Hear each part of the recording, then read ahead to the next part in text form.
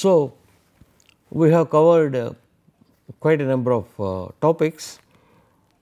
I thought I shall take this opportunity uh, to give my last or the concluding talk, which will summarize what we have done in this uh, about 40 lectures. Firstly, the limitation is uh, we have considered only solar energy thermal systems.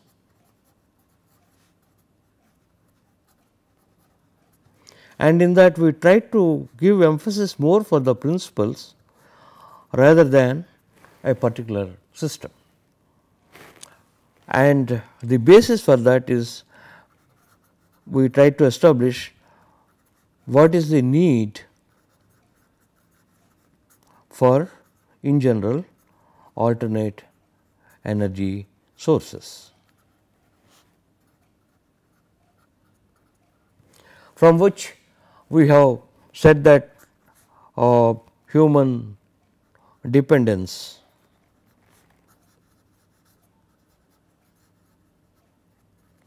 on external sources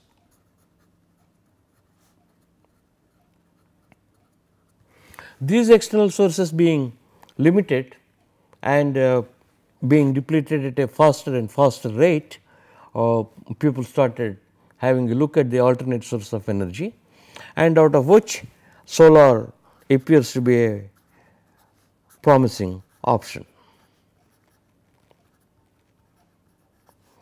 This is sort of our introduction. So, we have gone through a lots of uh, uh, mathematics and then we defined GON that is the solar radiation on a surface normal to the sun's rays under extraterrestrial conditions on a given day which is in terms of the solar constant GSC which is if the surface is normal to the sun's rays under extraterrestrial conditions at mean sun earth distance. So, that is how the solar constant is defined and this is of course, the estimates are varying it could be 1353 watts per meter square even 1367 per meter square. As we are getting more and more rather better uh, satellite data, uh, this is being revised. And then we said that Earth's declination delta is given by n equation 23.45 sine 360 times 284 plus n upon 365. Of course, I am not uh, uh, going to rewrite all these equations. So, uh, more exposure will be given to each frame. Then everything is in uh, standard time as far as we are concerned. And the calculations shall be done in terms of uh, solar time which is given in terms of the standard time plus 4 minutes per degree of the uh, longitude of the location and the longitude based on which the time of the country is based LST minus LOC by plus a E, E is the equation of time which is again related to the day of the year by the equations E and B. So, that plus will be for the western and minus for the east longitudes. Generally, we try to define n number of uh, angles uh, wherein you have got a surface and uh, it is inclined at the angle of beta. Uh, then this is the north south axis or north south direction and this is the west east and it is not in general in line with north south. So, there may be a azimuthal angle of gamma it looks like r, but that is gamma is the location notation we have been using and zenith is nothing but the vertical to the horizontal which makes an angle theta z with respect to the sun's ray and with respect to the outer normal to the surface the sun's ray will make an angle of incidence of theta. So, that theta in general a function of the latitude, slope and of course, the time omega and the azimuthal angle gamma is a long relation, which can be put in a shorter form as uh, cosine theta equal to a plus b cos omega plus c sin omega, where a is this expression and b is another expression and c is cos delta sin beta sin gamma. And if the surface is horizontal, the angle of incidence is also called the zenith angle. It will be a simpler expression which you can obtain by putting beta equal to 0 as simply cos phi cos delta cos omega plus sin phi sin delta. Now, you will find this cos theta z to be independent of gamma because if you have a horizontal surface the projection of the outer normal will be a point and you cannot define a azimuthal angle. And very rightly the equation reduces to be independent of the azimuthal angle. Then we defined omega s the so called sunset hour angle.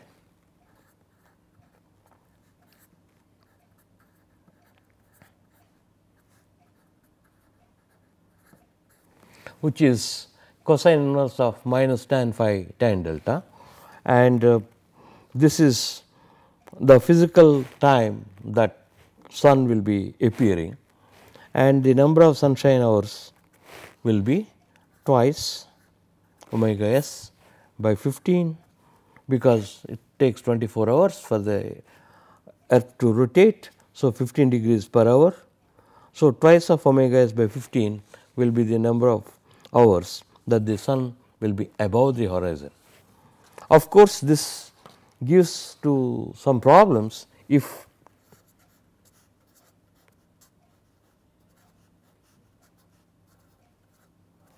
if uh, phi plus modulus of delta is greater than 0, uh, it will go to a cos inverse of a negative number smaller than minus 1 or a positive number greater than plus 1 and for which cosine inverse is not defined.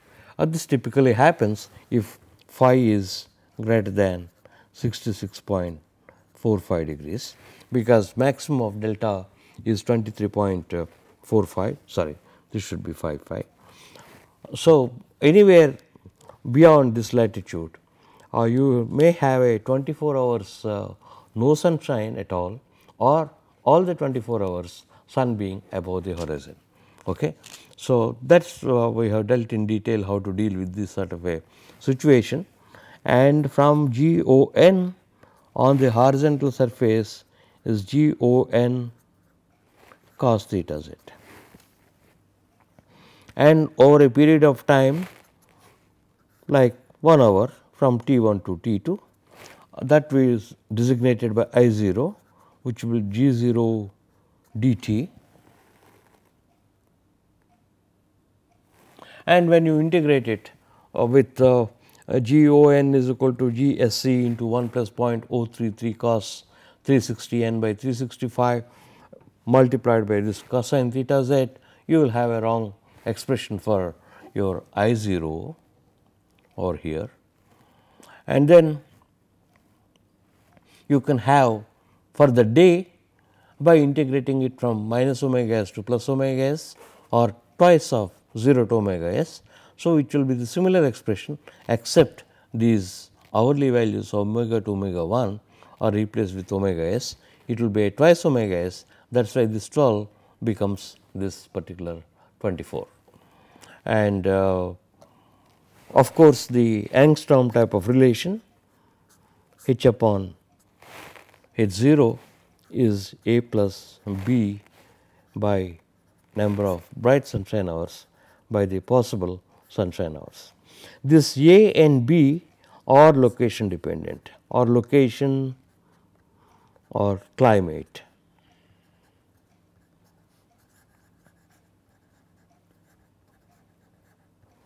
This is measured with a sunshine recorder.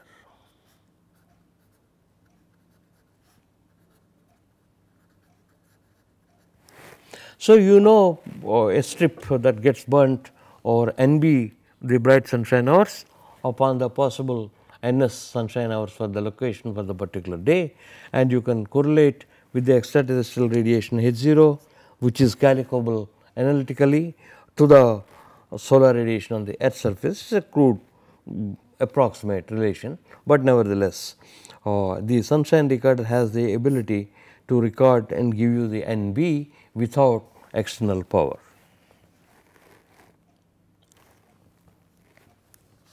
So, then we have gone through a large number of uh, correlations. For that essential and key ingredient is the clearness index.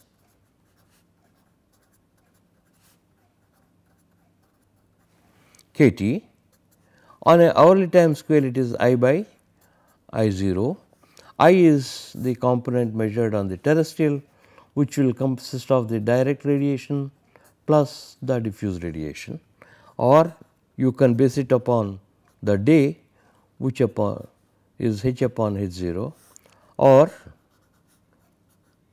k t bar the monthly average daily value h bar upon h 0 bar and this h 0 bar will be calculated with delta equal to delta m where the recommended mean declination values are given in the books or in case you do not remember or you are not supplied, you can use the midday of the month for calculating delta mean.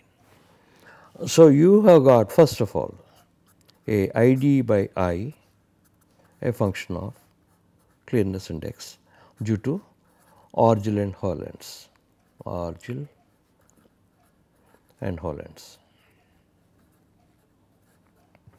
Now, you might be wondering what is the purpose of these things? Why? Why should we have this relation when we have ID and I? Most of the time the measurements are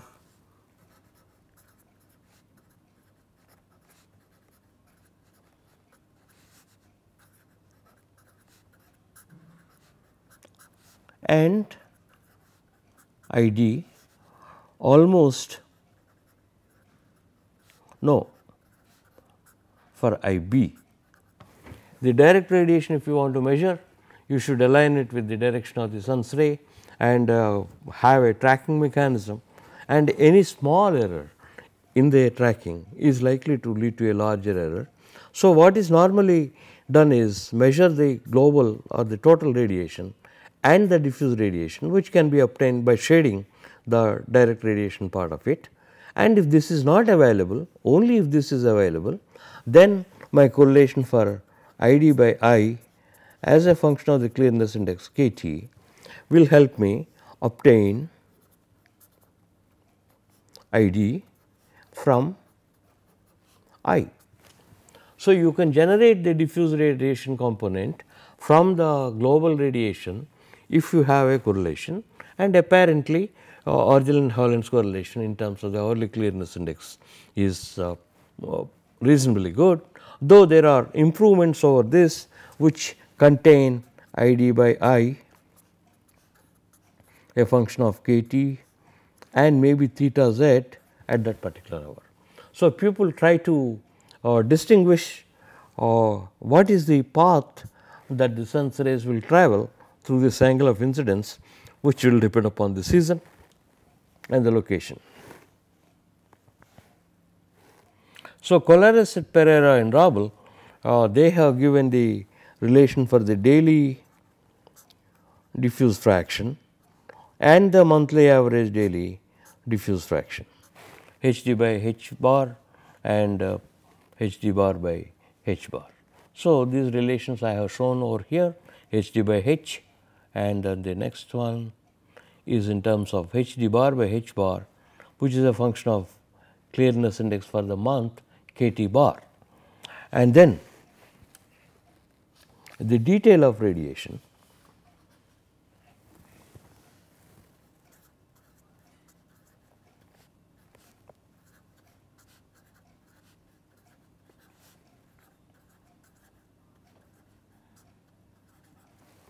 So, these correlations uh, one should understand that they are developed if you do not have the data detailed, how to generate some data which will mimic the tries to mimic at least uh, in reasonable error limits the actual data or it may be extremely convenient to computer implement.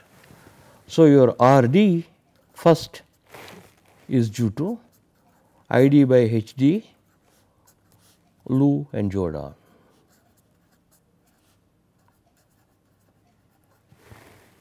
So, it is nothing but I d by H d is given in terms of this your uh, relation pi by 24 cos omega minus cos omega s into this much. And by the way, this is also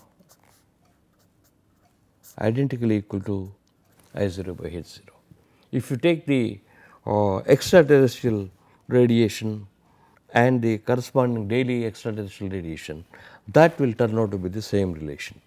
Though it is a surprising thing how the extraterrestrial radiation which is comprises of purely direct radiation is uh, so well correlated to the diffuse radiation okay, and not to the direct radiation. Nobody talks about uh, something like R b equal to I b by H b does not exist.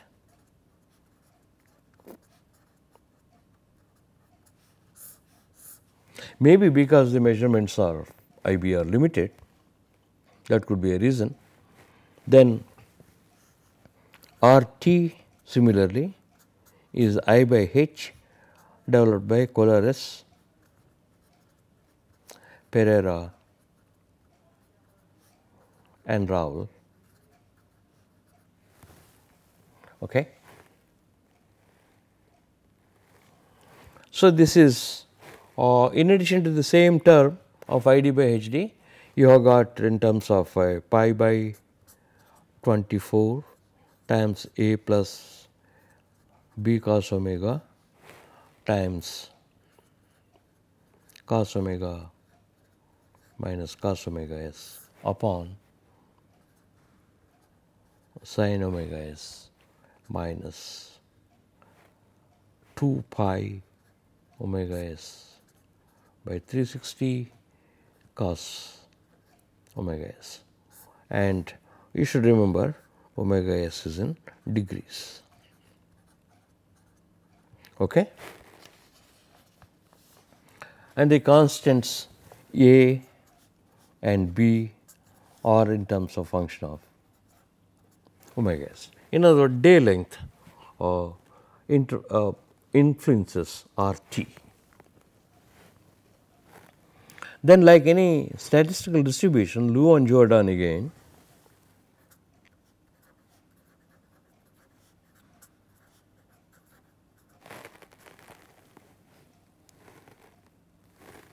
So, they have given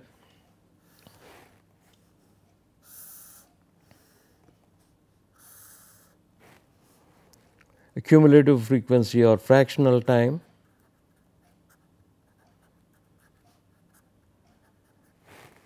Versus k t daily or hourly or I will write small k t.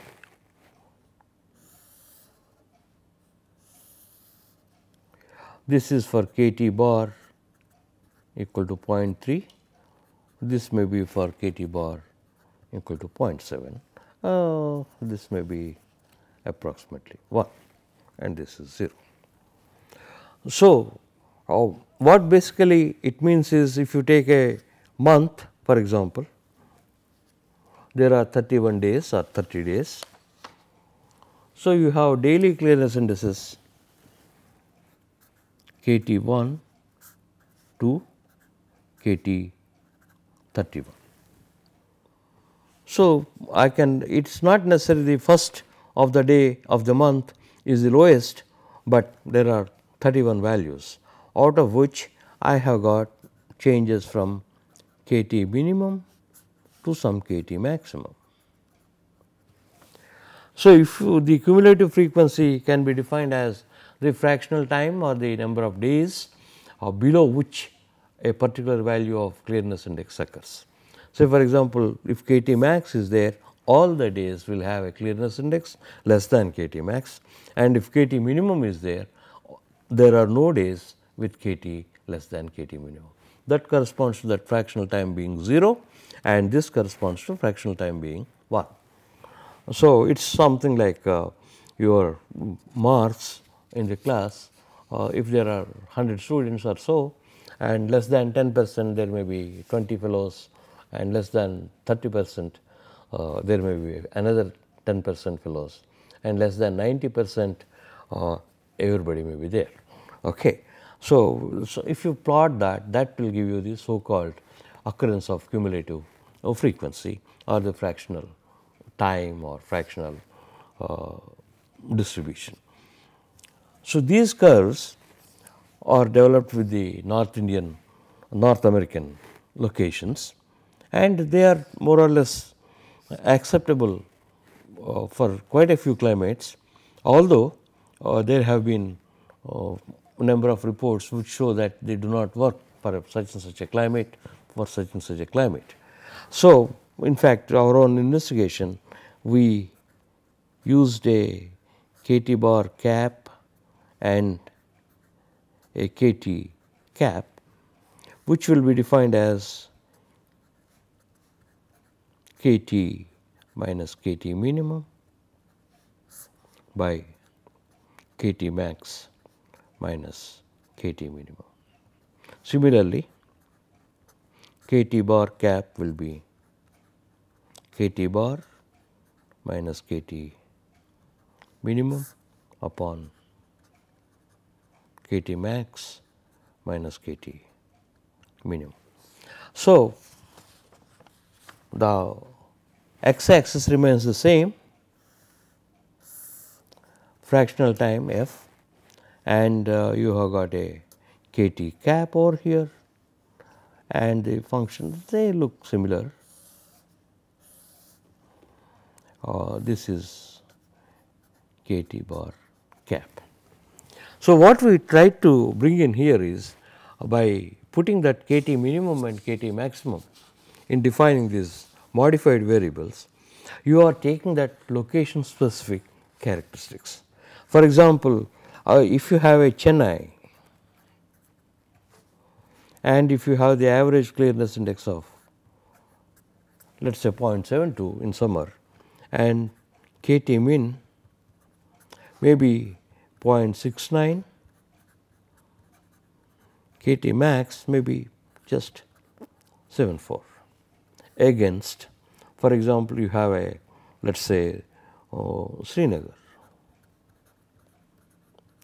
Assuming KT bar in some month is 0.72, this may have a KT min of 0.33 and KT max of point oh, okay, it should be more than that 78 okay, one particular day. So, you have got a large swing if the location is different compared to a Liu latitude location like Chennai.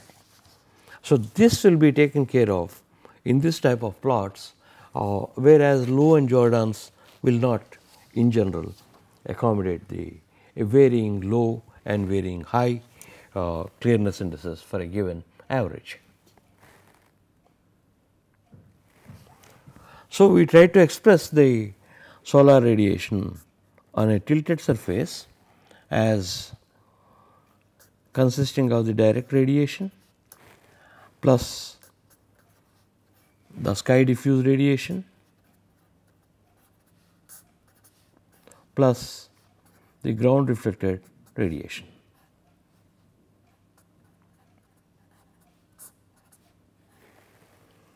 And uh, of course, overall factor R if I t is equal to R into I uh, can be rewritten as 1 minus I d by I.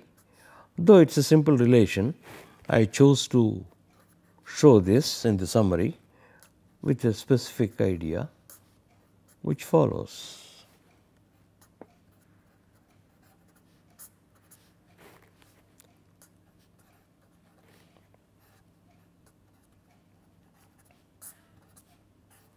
You should see that everything is written in terms of ID by I which are correlated to clearness index. So, if you have a measurement of only I and then the use of the correlation of ID by I or HD by H is very much understood. Then this RB is cos theta by cos theta z which of course, where you have got your uh, cos theta is a plus b cos omega plus c sin omega as we have already explained. And then uh, where a, b, c are given. And r b for a south facing surface is simple like r b equal to cos phi minus beta cos delta cos omega plus sin phi minus beta sin delta by cos theta z which is cos phi cos delta cos omega plus sin phi sin delta all right.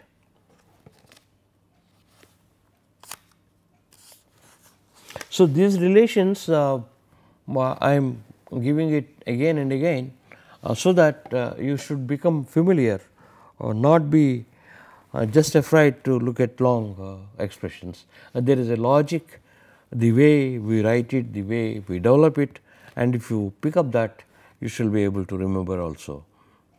Though it is not necessary you should have uh, them by heart, but you should be able to know the functions of it. Then from a solar energy collector useful energy gain is expressed in terms of, of course, the area, the optical efficiency or the transmittance absorptance product, the radiation falling at the collector minus the losses evaluated between mean plate temperature and the ambient temperature. Ultimately, this has been rewritten in terms of the collector efficiency factor minus the losses evaluated from the mean fluid temperature or in terms of the heat removal factor tau alpha times I t minus u L into T f i minus T a. So, by putting everything in terms of F r, I am able to have a single point temperature so that there is no possibility of a misinterpretation or misunderstanding or miscalculation of TFM or TPM. So, you have got uh, F dash is the collector efficiency factor. Mind you it is not the collector efficiency.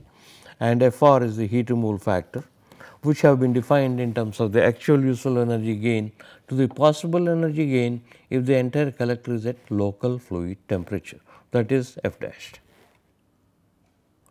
and your heat removal factor F r is the actual useful energy gain by possible energy gain if the entire collector is at the fluid inlet temperature. In other words, the losses cannot be lower than that corresponding to the inlet temperature and if anybody gives more value than that, uh, you can find out that the measurements have not been right. And UL is the collector overall loss coefficient which needs to be calculated iteratively. You assume a plate temperature T p and then uh, guess a cover temperature or for a given plate temperature guess a cover temperature, calculate the losses and those losses should be equal to whatever is lost from the glass cover also. So, you can alternately calculate the overall loss coefficient by first estimating the uh, top loss coefficient u t a long expression. This has been correlated by Klein in terms of the number of glass covers, the wind heat transfer coefficient, uh, emissivity of the plate, emissivity of the glass, mean plate temperature, ambient temperature and of course, the Stefan Boltzmann constant and where this f and c are again in terms of uh, other quantities like beta, the slope and uh, everything is explained over here. So, this can be readily used and then you can calculate u t u l as u t plus u b the back loss coefficient which is nothing but the resistance inverse of the um, conduction or the insulation kept at the bottom of the absorber plate. So, if you go through a little bit of algebra, we got a simple expression for the heat removal factor, which I will give you in a minute m dot C p A C U L times 1 minus exponential A C U L f dashed by m dot C p. So, if you look at this equation, my independent parameters are f r tau alpha and f for u l. So, we know how to calculate u l, we know now how to calculate f r and tau alpha will be calculated later on. So, that your q u the useful energy gain is A C f r times S minus u l into T f i minus T a. So, that tau alpha yes we were talking about it and well it appears here. So, if S is the absorbed energy over a period of 1 hour let us say that should be equal to I t into tau alpha which is tau alpha into into I into R. Now, what we find is that this tau alpha comprises of the direct radiation component contributed by the plus the diffuse radiation and the ground reflected radiation. We will come to it little later and uh, in the same context we define a critical radiation level which you know it has become very essential in calculating the utilizability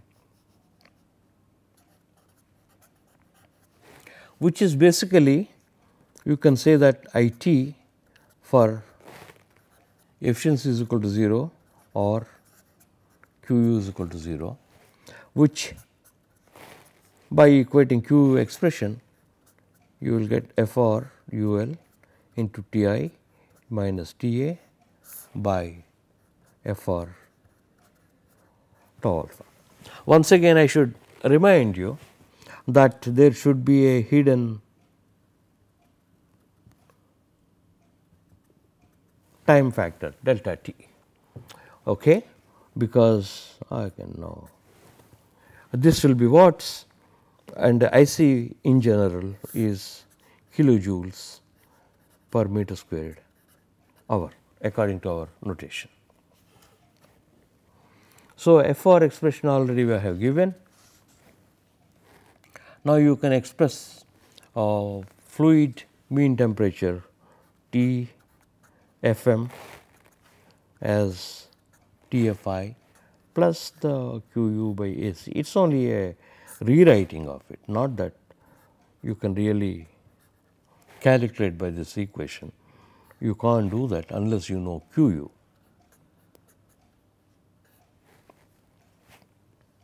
And the plate temperature is T f i plus same thing q u by A c by u l into f r times 1 minus f r.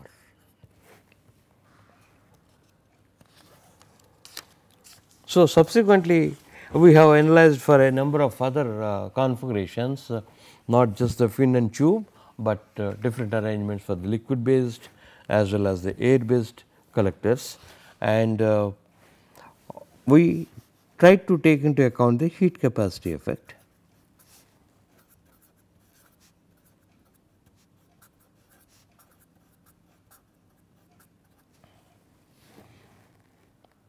With certain approximations, the temperature of the plate T p varies with time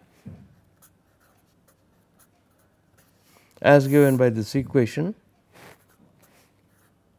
if UL is the overall loss coefficient and Tpi is the initial temperature and Ta is the ambient temperature is related to e to the power minus AC UL time by M Cp effective. And uh, this MCP effective is MCP of the plate plus sigma AI M CP I I. So, I is equal to 1 to n. If there are n number of uh, glass covers, we are trying to convert that into an equivalent plate by putting that MCP effective is that of the MCP of the plate plus this is the ratio of the overall loss coefficient from the cover under consideration to the ambient to the overall loss coefficient. So, AI is UI by UL. Then for air heaters pressure drop could be a uh, issue. So, we tried to we gave some formulae to calculate the pressure drop as if it is a duct which is quite okay. And then the other geometries the tube can be below the absorber or above the absorber as we have shown over here Fin and tube arrangement uh, 2 that is what I call. Uh, then of course, the corresponding uh, efficiency factor is given over here. There will be slight variation compared to what you have uh, for the uh, first configuration that we have studied. Let me this seems to be okay.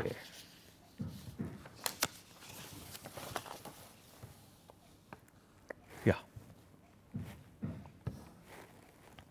So, you have got f dashed and the very first configuration we studied was with the tubes below the absorber and this one is above the absorber. There are plus and minus points because some people argue that this tube will be absorbing directly the solar radiation, but some people also argue that it can directly lose also by emission. Basically, it is a convenience of the manufacturing and you have got of course, the classical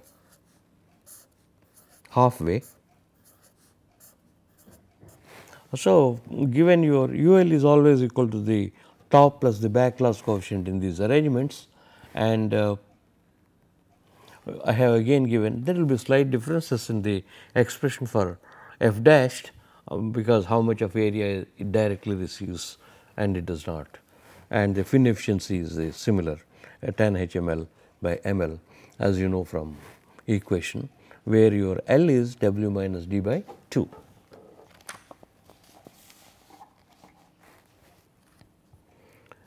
So, then we considered the air heaters. So, you can have a flow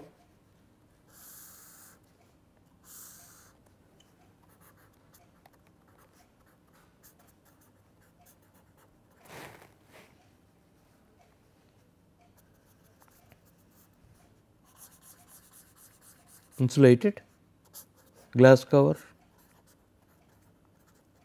Is the absorber. The flow is between the absorber and the top glass cover. So, now the hot fluid is directly in contact with the glass uh, which loses uh, energy to the ambient. Consequently, your so called uh, overall loss coefficient UL is not a completely loss, but actually it goes to the fluid too and uh, you have expressed UL and if you put UB equal to 0 UL will not reduce to UT in this particular instance. And uh, collector efficiency factor uh, then the uh, radiative heat transfer coefficient. The next one is the regular duct. You have the glass cover and the duct through which the flows and of course, you have insulation. So, here is UL equal to UT plus UB. So, there are no issues. So, you have got a F dashed efficiency factor and the radiative heat transfer coefficient and this is uh, to have a, a heat transfer augmentation particularly for air collectors people provide sort of uh, corrugations or the paths in between. So, this will break the sort of boundary layer or mix the hot and cold fluids from the bottom and the top within the duct thereby improving the heat transfer between the fluid and the absorber plate. So, this is analyzed in terms of the spacing H 1 and H 2 are the heat transfer coefficients sorry and uh, the expressions are over here. So, now you can define the fin efficiency of the plate and fin efficiency of the fin because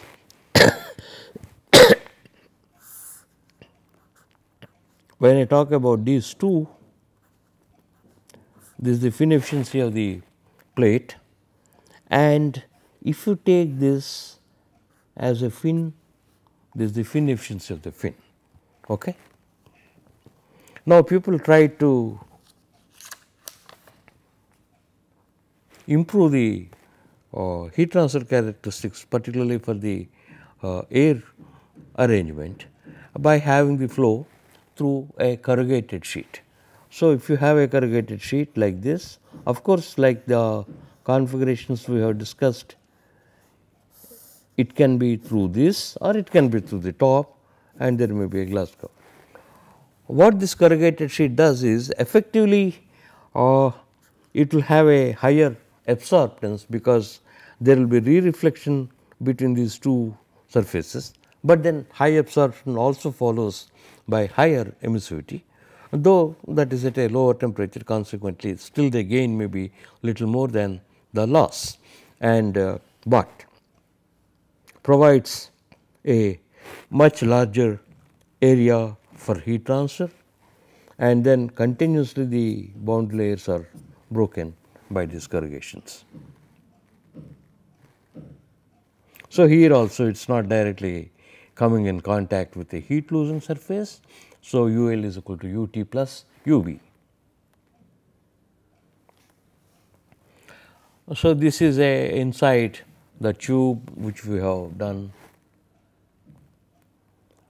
then f dash the collector efficiency factor is given over here.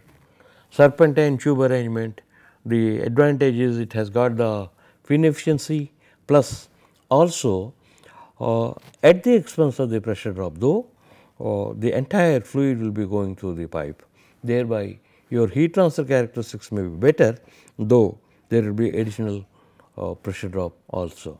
This is done by Abdel-Khalik. So, these relations we have given in detail in the class notes on the earlier lectures. This is once again a large surface area uh, trying to mix the hot and the cold fluids a geometry due to Selcuk. Uh, then a matrix arrangement has been uh, suggested by Hamid and Beckman and of course, the advantage here is the flow goes through this matrix like some sort of a porous medium having a large exposed area for heat transfer, though the pressure drop could be higher.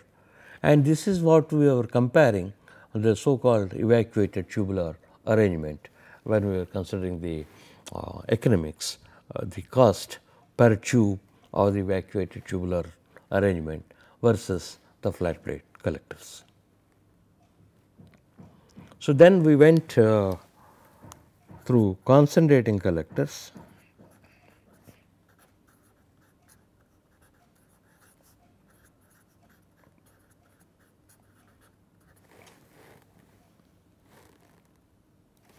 So, there are different uh, concentration methods uh, which you may find it here is simple uh, rather they are something like two boosters and then you may have the central receiver concept or a paraboloidal dish at the focal point being the receiver and a Fresnel lens or a Fresnel reflector. So, the necessary condition for the um, concentrating collectors is they need to be tracked. In other words they should be pointing towards the sun. Perfect is 2 axis. So, if you have got a parabolic dish and here is the sun and the outer normal is always in line with the sun's rays. So, that requires moving from east to west as well as swiveling around a uh, north south axis. Other simpler trackings could be first mode which is one single daily adjustment such that theta is equal to 0 at solar noon omega is equal to 0. So, that gives a simpler expression for this gives the condition phi minus beta should be equal to delta and you have got cosine theta a simpler expression or than whatever we have for this. Is essentially it is a flat plate turned towards south with a particular uh, uh, beta changing from day to day depending upon phi minus beta is equal to delta. Then this is again uh, same thing, but I want to minimize at every instance. So, that my beta will be changing continuously throughout the day and you have got a cos theta. So, east west axis with continuous adjustment.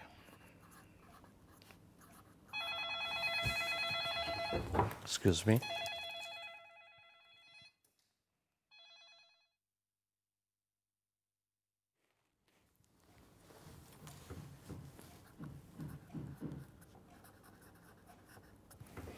So, this requires a continuous adjustment uh, throughout the day and uh, of course, you can design derive the expression for beta and uh, cosine theta expression is given here for this mode.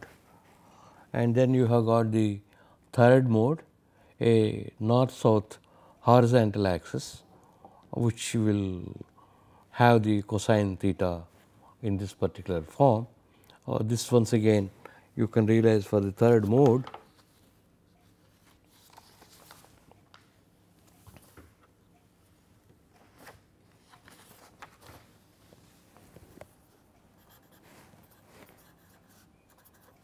Mode 3 you choose gamma is equal to plus or minus 90 degrees depending upon the forenoon or the afternoon because it is uh, whenever it is facing rotated from east to west on a north south axis until forenoon or the noon it will be gamma minus 90 and after noon it will be gamma is equal to plus 90.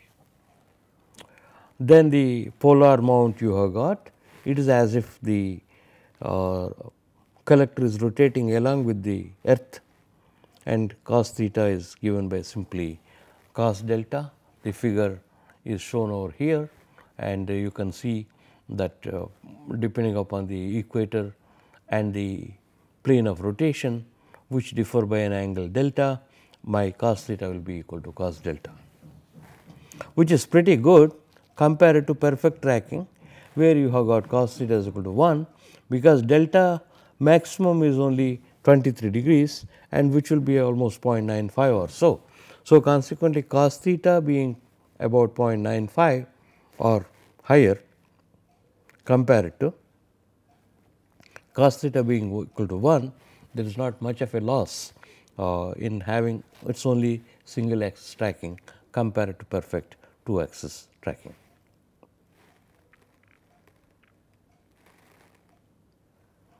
So, in all these cases we need to calculate the uh, what shall I say the apparent sunrise and sunset hour angles. For each mode 1, 2, 3, 4, 5 they are given. By setting theta is equal to pi by 2 you will obtain those numbers. So, we shall continue with the remaining of the summary. Uh, the next class and uh, I shall just go through the remaining relations so that you will be confident and these are all at one particular place for you so that we can always refer to them and once again my offer is open if you point out any mistakes they will be corrected and the correct uh, answer will be I shall communicate to you. Thank you.